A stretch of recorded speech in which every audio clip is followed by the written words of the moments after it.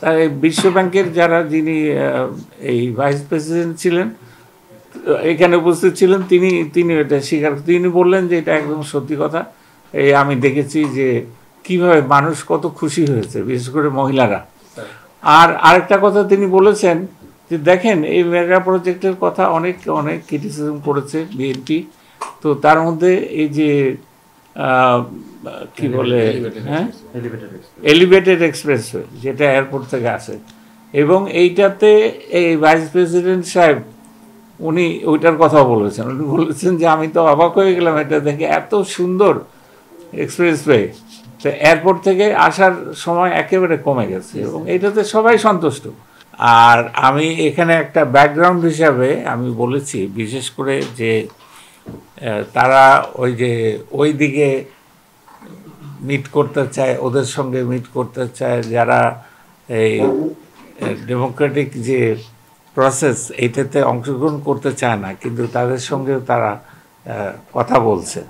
তো সেই জন্য আমি বলেছি যে, বেগম জিয়া যে কমেন্ট করেছিলেন, যে তাই যে কত এটা কত মানে একেবারে বাতুলতা, এটা তো যে উনি বলেছিলেন যে আওয়ামী লীগ সরকার যেভাবে এই পদ্মা সেতু তৈরি করেছে, এটা তো জোড়াতালি দিয়ে করেছে, যে কোনো সময় ভেঙে পড়তে পারে। আপনারা জনগণের উদ্দেশ্যে তিনি বলেছিলেন যে হাজার সতেরো সালে যে আপনারা উঠবেন না, কারণ এটা ভেঙে পড়তে পারে। তো এই ধরনের মানে একেবারে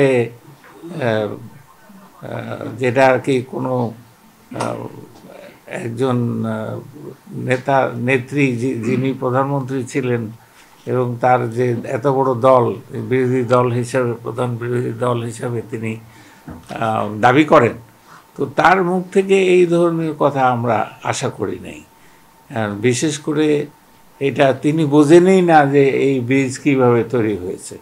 তো এই যে আওয়ামী লীগ সরকার যতগুলো মেগা প্রজেক্ট হয়েছে, সবই কিন্তু শেখ হাসিনার সরকারের।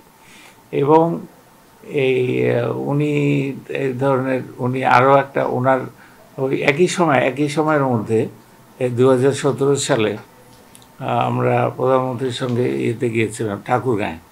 তো সেইখানে আমি একটা কথা বলে, তার দুদিন আগে এই, বিএনপির যে মহাসচিব তো তিনি একটা কমেন্ট করেছিলেন যে আওয়ামী লীগ, তার বাড়ি হলো ঠাকুরগাঁয়ে। তো আমি দশ বছর, দশ বারো বছর পরে ঠাকুরগাঁয়ে গিয়েছি এবং ঠাকুরগাঁর যে উন্নয়ন, এটা দেখ- আমি চিনতেই পারছিলাম না যে এইটা ঠাকুরগাঁ। এটা কোন ঠাকুরগাঁ? তো রাস্তাঘাট, এত বিল্ডিং, আমি কিছুই চিনতে পারলাম না দেখে। তা আমি এইটা বললাম যে ঠাকুরগাঁ তো আমি চিনতে পারলাম না। তো উনি বলেছেন কি বলে, মহাসচিব মহোদয়, বিএনপি, তিনি বলেছেন যে আওয়ামী লীগ সরকারের আমলে দেশে উন্নয়ন হয়েছে নাকি? আমি তো কিছু দেখি না। তা আমি তখন ওখানে বলেছিলাম জনগণের উদ্দেশ্যে লক্ষ লক্ষ লোক ছিল। আমি বলেছি যে আপনাদের এই যে আপনাদের ছেলে আমি আঞ্চলিক ভাষায় বক্তৃতা দিয়েছি। তা আপনাদের যে নর্থ বেঙ্গলে বলে ছাওয়া ছাওয়া মানে ছেলে বাচ্চা তো আপনাদের যে ছেলে বা ছাওয়া হ্যাঁ ছাওয়া যে তিনি বলেছেন যে আওয়ামী লীগ সরকার আমলে উন্নয়ন হয়েছে নাকি? আমি তো কিছু দেখি না। আমি বললাম যে, আপনাদের ছেলে কিন্তু এই কথা বলেছে। দেখেন, ওর চোখ খারাপ হয়ে গেছে কিছু দেখতে পাচ্ছে না।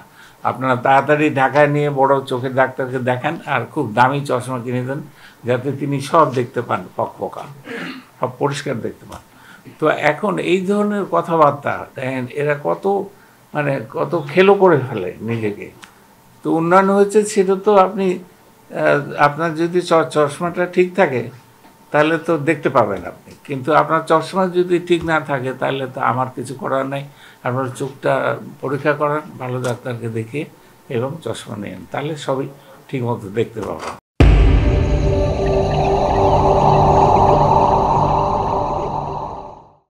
পরিষ্কার দেখতে পাবেন।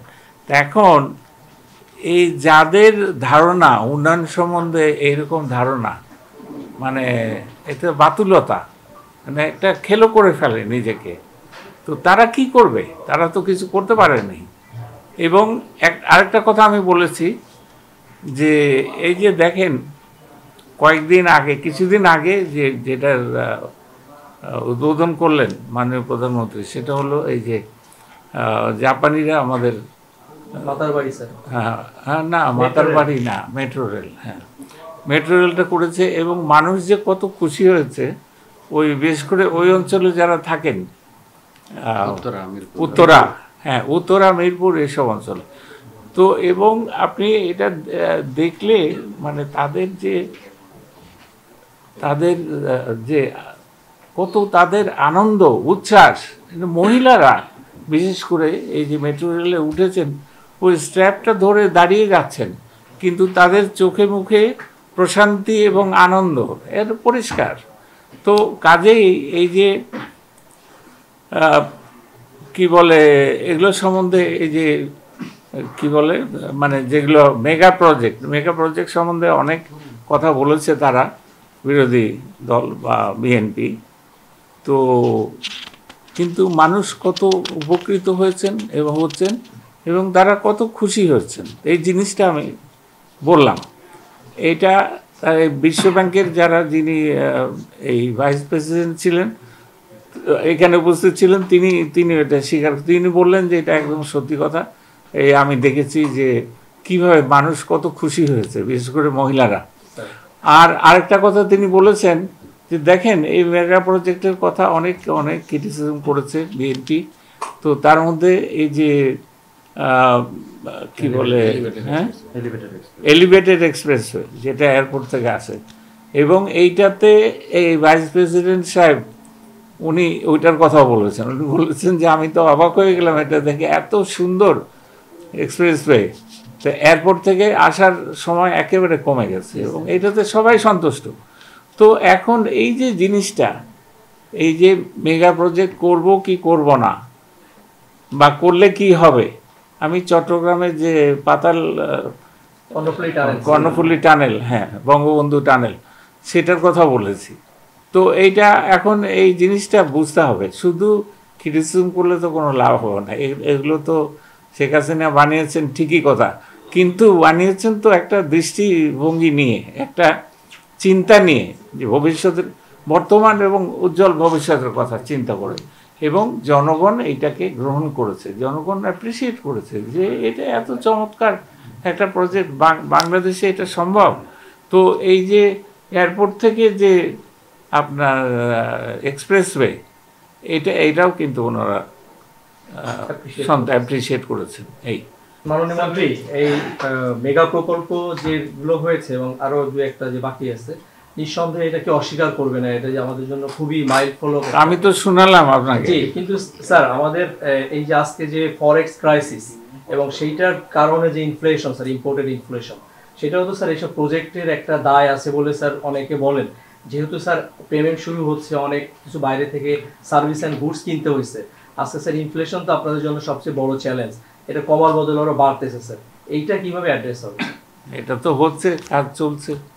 তো ওয়েট করতে হবে রাতারাতি তো হবে না। এটা তো ম্যানেজ করতে হবে। তো ম্যানেজমেন্টের কাজটা তো চলে শুরু হয়েছে। এখন যাচ্ছেন ওটা ম্যানেজমেন্টের কি বলে কৌশল এবং ম্যানেজমেন্ট কীভাবে হচ্ছে কত দূর হচ্ছে এটা কতদূর এফেক্টিভ এফেক্টিভ হবে এটার মধ্যেও আবার ইয়ে করতে হবে অ্যাডজাস্টমেন্ট করতে হবে। তো সেগুলো তো ডে টু ডে কোশ্চেনের মধ্যে আপনার- ওরা ইনফ্লেশন নিয়ন্ত্রণে কি সহযোগিতা করতে চেয়েছে? ওয়ার্ল্ড ব্যাংক সেটা যদি একটু তারা বলছে যে সহযোগিতা করতে চায় সেটা যদি হ্যাঁ। এক্সপ্লেইন করেন স্যার না সেইটা তো যে আমরা যেটা বলেছি। Sir, sir. এটা এটা তো আমি বললামই যে আমরা যে সমস্ত মেজার নিয়েছি মনিটারি পলিসি ফিসক্যাল পলিসি না না। এগুলি ঠিক আছে তারাই এটা বলেছে এবং এগুলি অব্যাহত রাখার জন্য বলেছে। স্যার স্যার লাস্ট একটা কোশ্চেন শেষ করে দেন। নেইবারিং কান্ট্রিগুলো তো স্যার করে ফেলেছে স্যার আমরা আর কত সময় নিব? ইন্ডিয়া ইন্ডিয়া স্যার ইন্ডিয়া আমাদের শ্রীলঙ্কা আমাদের ফিলিপিন্স সবাই করে করে ফেলেছে। জি স্যার গিয়ে দেখেন।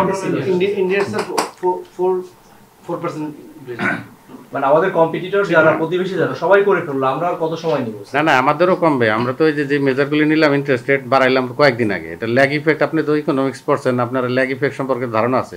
এবং সামনে যে রমজানের পরে এটা ড্রাস্টিক্যালি কমে যাবে এবং আমাদের এক্সপেকটেশন হলো জুনের মধ্যে এটা point seven seven point two point seven point ফাইভে নেমে আসবে ইনশাল্লাহ কিন্তু স্যার যদি বিদ্যুতের দাম বাড়ান জ্বালানির দাম বাড়ান তখন তো আবার এটা উস্কে দেবে। শুধু তাই না ইন্টারেস্ট রেট বেড়ে যাচ্ছে সেইটারও তো স্যার সবই পণ্য তো স্যার ইম্পোর্টেড শুনেন। যদি ইন্টারেস্ট রেট এত বাড়াই দিচ্ছেন আপনি যদি আবার ইনফ্লেশন ওভারঅল ভিউ নেন সবগুলোর সঙ্গে সবগুলো কানেক্টেড রাইট স্যার তো কাজেই তো এটা তো হবেই। তা ম্যানেজ করতে হবে। ওয়েট করেন আমরা কি শেষ হয়ে গেলাম নাকি?